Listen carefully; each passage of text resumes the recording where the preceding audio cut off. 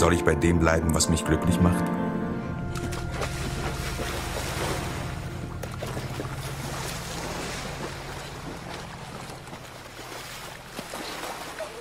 Verschwinde! Warum läufst du von mir davon? Es hat sich ja gezeigt, dass es die richtige Entscheidung war. Ich war verwirrt. Das mit dem Mädchen. Ich war einfach verwirrt. Du bist so ein schäbiger Lügner.